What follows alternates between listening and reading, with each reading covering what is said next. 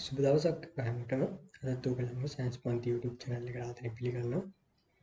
මේ මාසේ පළවෙනිදා මම අරන් ආවා අපේ සාමාන්‍ය විභාගය සඳහා වැඩපිළිවෙලේ දෙවැනි පියවර ඒ කියන්නේ පසුගිය විභාග MCQ ගැටළු වලට උත්තර ලියන එක. මේක වීඩියෝ එක ඔයගොල්ලෝ බැලුවේ නැත්නම් උඩ ලින්ක් එක යනවා. ඒකෙන් ගිහිල්ලා ඔයගලන්ට බලන්න පුළුවන්.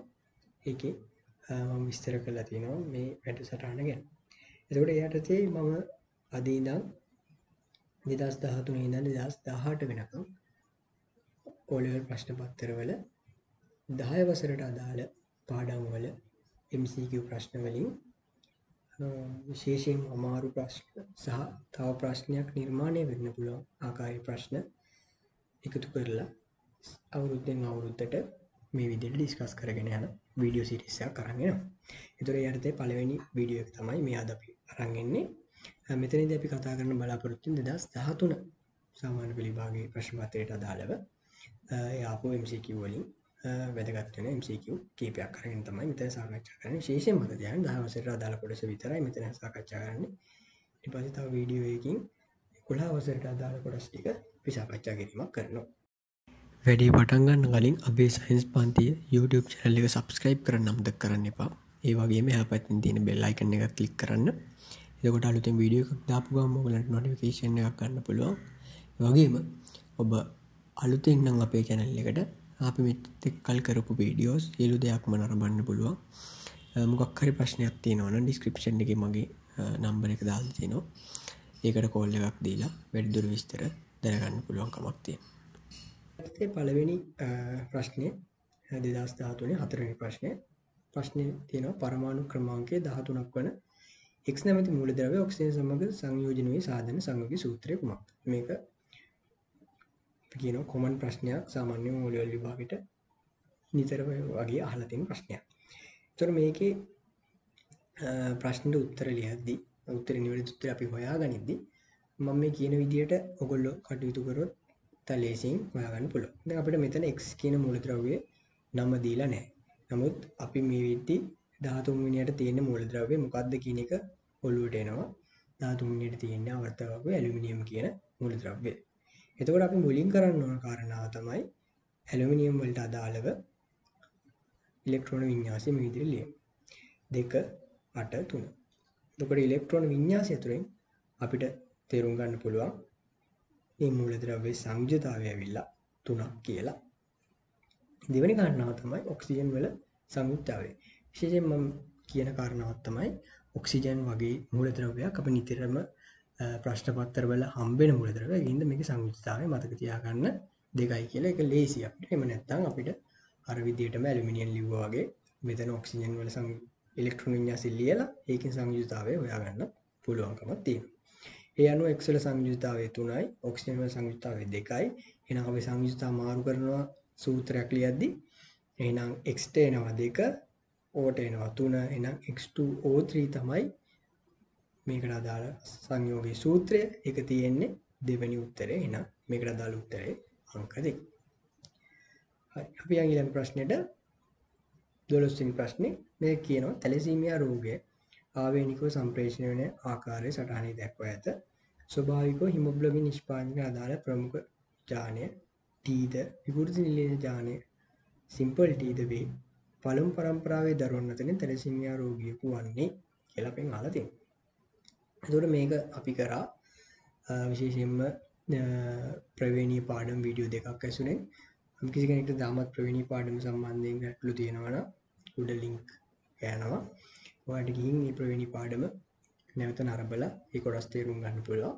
මෙතනදී තේරුම් ගන්න කාරණාව තමයි තැලිසීමියාව කියන්නේ ජාන විකෘතියක් නිසා ඇතිවන රෝගයක්. එතකොට මේකෙදි රෝගය ඇති වෙන්නේ නිලීන සමයුක්මක අවස්ථාවේදී පමණයි. එහෙනම් අපිට මේ සටහන දීලා තියෙනවා මේ සටහනේ ජන්මානු ටික දීලා තියෙනවා. අපි මේ ජන්මානු ටිකෙන් අපි කියන පළමු පරම්පරාවේ ඇතිවෙන ජනිතයන්ගේ යාන ප්‍රකාශනය මේ විදිහට ලියාගෙන ගියාම සිම්පල් T සිම්පල් T කියන නැත්තම් නිලීන සමයුක්මක අවස්ථාවක් කියන එක හම්බෙන්නේ අපිට මෙන්න මේ හතරවෙනි අවස්ථාවේ නැත්තම් අපි කියනවා D අවස්ථාවේදී. ඒ හින්දා මේකට අදාළ උත්තරේ වෙන්නේ මෙන්න මේ හතරවෙනි උත්තරේ. හොඳට මතක තියාගන්න. තැලසීමියාව කියන්නේ ජාන විකෘතියකින් ඇතිවන දෙයක්. එන නිලීන ජානයකින් නම් මේ රෝගය ඇති වෙන්නේ. නිලීන සමයුග්මක අවස්ථාවේදී පමණයි රෝගය ප්‍රකාශයට පත්වෙන්නේ යනුව තමයි උත්තරේ මේ කියන්නේ D කියලා. හරි. අපි යන් ඊළඟ ප්‍රශ්නෙට මේක 15 වෙනි ප්‍රශ්නේ පහස රසායනික සමීකරණ අතරින් නිවැරදිව තුලනය කර ඇත්තේ කුමන සමීකරණයද? දැන් මේ වගේ ප්‍රශ්නයක් විභාගයට ආවොත් එහෙම ලේසිම කතන්දරේ තමයි පළවෙනි සමීකරණේ ඉඳන් ඔය දීලා තියෙන ඒගොල්ලෝ ඉලක්කම් දාලා තියෙනවා ඒව දිහා බලන්නේ නැතුව අපි හරියට සමීකරණේ තුලිත කරගෙන යනවා. එතකොට අපිට ඒ අපි දාන ඉලක්කනුයි ඒගොල්ලෝ දින ඉලක්කනුයි එක නම් ඒක තමයි අපි තුලිත සමීකරණය වෙන්නේ. එම නැතුව ඒගොල්ලෝ දාලා තියෙන ඉලක්කම් හරිද වැරදිද කියලා බලන්න ගියොත් මේකට යන කාලය වැඩි වෙනවා. ඒ අනුව මම මේ සමීකරණ හතරම තුලිත කරලා දෙනවා. මෙතනදී මම මේ තුලිත කිරීම සම්බන්ධයෙන් ඔයගලන්ට කරුණු කීපයකුත් මෙතනදී කියලා දෙන්න උත්සාහ කරනවා. දැන් පළවෙනි සමීකරණය ගත්තම ඒකේ තියෙනවා නයිට්‍රජන් දෙකයි ඔක්සිජන් දෙකයි. ඒ අනුව මේ පැත්ත හැදිලා තියෙන සංයෝගය NO කියන එක. එහෙනම් එක නයිට්‍රජන් එකකුයි එක ඔක්සිජන් එකකුයි පමණයි තියෙන්නේ. එහෙනම් දෙකෙන්ම දෙක දෙක තියෙන්න ඕනේ. හින්දා මේ වගේ අවස්ථාවක සරලව අපිට ඉස්සරහට මෙතනට දෙක දැම්මනම් පළවලට මේ සමීකරණය තුලිත සමීකරණයක් වෙනවා.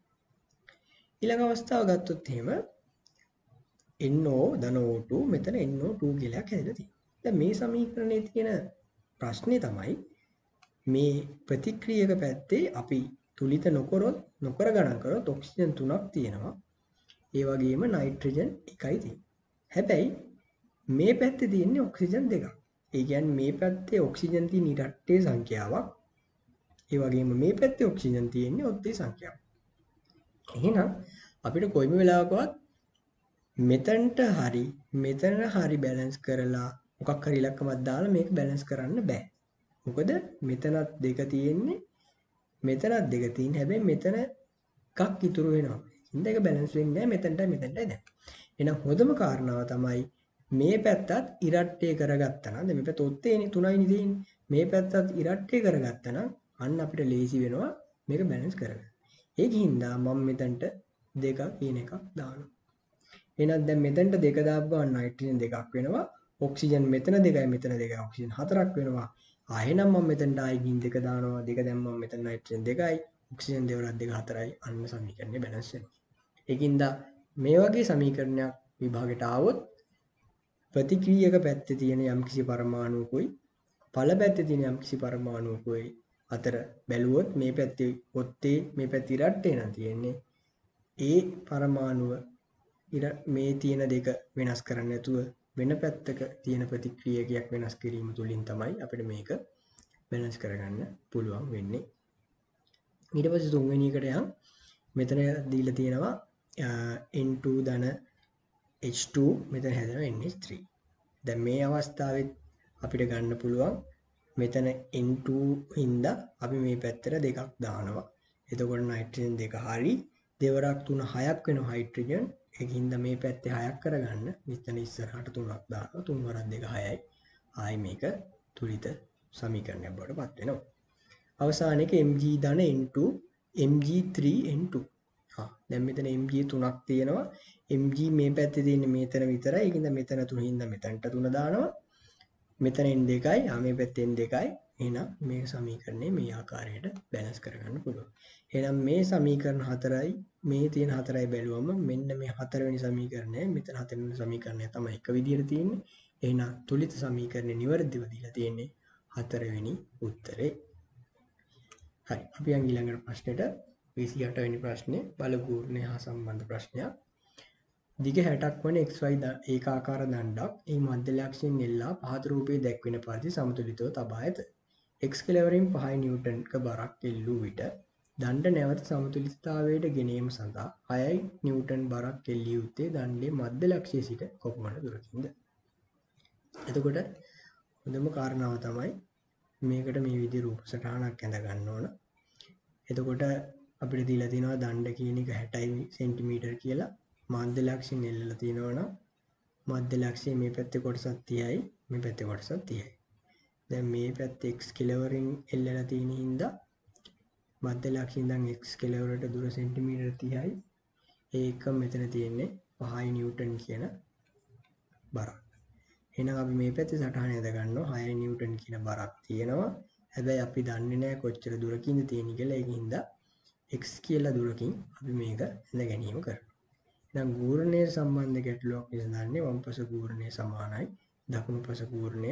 එහෙනම් වම් පස ගූර්ණය ලියන්නේ බලය වරක් මෙන්න මේ දුරෙන් වැඩි කරලා 5 නිව්ටන් වැඩි කිරීම 0.3 මීටර මේක සෙන්ටිමීටර වලින් ලිව්වත් MCQ එකකින්ද ප්‍රශ්නයක් වෙන්නේ නමුත් මම මේ හරියටම හදන විදිය තමයි මෙතන දක්වලා තියෙන්නේ ඒ අනුව මේ පැත්තේ එනවා සමානයි. 6 නිව්ටන් අපි දුර තමයි හොයාගන්න ඕනේ. දැන් x කියලා දැම්මු. එහෙනම් මේක සුළු කරාම වෙනවා 0.25 මීටර කියලා. ඒක සෙන්ටිමීටර වලට හැරුවම 25 සෙන්ටිමීටර කියලා එනවා. ඒ අනුව හතරවෙනි උත්තරය තමයි 28 වෙනි ප්‍රශ්නෙට එන්නේ. හරි ඊළඟ ගාන බලමු. මේක 2013 30 වෙනි ගාන. මිනිසෙකුට සරල රේඛීය මාර්ගයක සිදු කළ චලිතයට අදාළ ස්ථාපන කාල ප්‍රස්ථාරයේ රූපී පෙන්වා ඇත.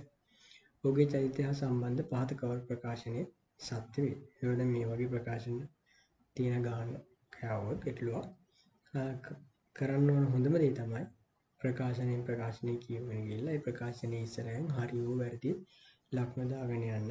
එතකොට අපිට නිකම්ම උත්තරේ හොයාගන්න පුළුවන්කමක් තියෙනවා. දැන් මේක දීලා තියෙන හොඳට මතක තියාගන්න ස්ථාපන කාල ප්‍රස්ථාරය. දුර ස්ථාපන කාල ප්‍රස්ථාරයක් දුන්නම ස්ථාපන කාල ප්‍රස්ථාරයේ මේ ආවොත් ඒකට අපි කියන්නේ ධන ප්‍රවේගයක් කියලා. ඒ වගේම මේ විදිය x අක්ෂයට සමාන්තරව ඉරක් ආවොත් අපි කියනවා නිශ්චලතාවයෙන් තිබ්බා කියලා. ඒ වගේම මේ පැත්තට අපි කියනවා ඍණ ප්‍රවේගයක් කියලා. ඒ අනුව විස්ථාපන කාල ප්‍රස්ථාරයක කොයිම වෙලාවකවත් තොරණ සහ මන්දන අපිට අඳින්න බෑ. යනු පළවෙනි ප්‍රකාශනය කියන්නේ ඔහු පළමු තත්පර 8 තුළ තොරණයෙන් ගමන් කර ඇති කියලා. ඒකින්ද ස්ථාපන කාල ප්‍රස්ථාරයක් නම් අපිට කොයිම වෙලාවකවත් තොරණය කියන එකක් නිරූපණය කරන්න බෑ. ඒකින්ද මේ ප්‍රකාශනය වැරදි. ඔහුගේ උපරිම ප්‍රවේගය 16 ms නේ වේ. එනම් ප්‍රවේගයෙන් ගමන් කරේ මේක කොටස් දෙක. හැබැයි වෙනසකට තියෙන කාරණාව තමයි මේකත් ප්‍රවේගය මේකත් ප්‍රවේගය. මේ කොටසේ ගත කරන්න එයාට ගිහිල්ලා තියෙන තත්පර 8යි හැබැයි මේ කොටස යන තප්පර 10ක් ගිහිලා තියෙනවා. එහෙනම් අපි දන්නවා අඩු කාලයකින් තමයි උපරිම ප්‍රවේගයක් අපිට හම්බෙන්නේ. එහෙනම් උපරිම ප්‍රවේගයට අදාළව අපිට ගණනය කරනවා නම් අපි ගණනය කරන්න ඕන මේ කොටසේ මේ කොටසේ ගණනය කරලා වැඩක් නැහැ. මොකද ඒ ගත වෙච්ච කාලය මේකට සාපේක්ෂව වැඩි හින්දා. ඒ අනුව මේක අපි ගණනය කිරීමක් කරොත් 16 මීටර් ගමන් කරන්න 8යි s ගත වෙලා තියෙනවා. නැත්නම් තප්පර 8ක් ගිහිල්ලා තියෙනවා. එහෙනම් ඒක සුළු කරාම මෙතන මම ms ඍණ දෙක කියලා තියෙන ලියලා තියෙන. එතන ms ඍණ එක එන්න ඕන.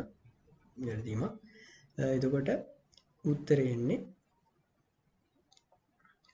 දෙකයි එම්ස් එක කියලා නමුත් මේක දීලා තියෙන 16ක් කියලා ඒකින්ද ඒ ප්‍රකාශනයත් වැරදි.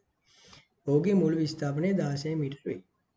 අපි කියලා තියෙනවා මෙන්න මේ જાතිය ත්‍රිපීසියමයක් හැඩයට විස්ථාපන කාල ප්‍රස්ථාරයක් ආවොත් ඒ ඕනම අවස්ථාවක පුද්ගලයෙක් හෝ වාහනයක් හරි ඕනම දෙයක් සිදු කරපු සම්පූර්ණ විස්ථාපනය වෙලා බිඳුවයි. මේක අදාළ වෙන්නේ ස්ථාපන කාල ප්‍රස්ථාර වලට විතරයි. ප්‍රවේග කාල ප්‍රස්ථාර වලට මේ කියන කතන්දරය අදාළ වෙන්නේ නැහැ. ස්ථාපන කාල ප්‍රස්ථාරයක ත්‍රපීසියමක හැඩයක් තියෙනවා නම් බිඳුවෙන් පටන් අරන් බිඳුවෙන් ඉවර වෙලා තියෙන ඒකේ විස්ථාපනය වෙලා බිඳුව. එහෙනම් විස්ථාපනය 16ක් නෙමෙයි. උතප්පර 17ක් නිසල වෙත කියන කාරණාව ගත්තම මේ කොටස තමයි නිසල විඳලා තියෙන්නේ. එහෙනම් 25න් 8ක් අඩු කරනවා ඒක අඩු කරොත් එහෙම 17යි කියලා උත්තරේ එනවා. ඒ අනුව හතරවෙනි එක තමයි නිවැරදි ප්‍රකාශනය වෙන්නේ. ඊළඟ ප්‍රශ්නෙට යනවා ටැංකියක පතුලේ සිට 2 මීටර උසට ජලය පුරවා ඇත. ජල කඳ මගින් ටැංකිය පතුලේ මත ඇති කරන පීඩනය කොපමණද කියලා.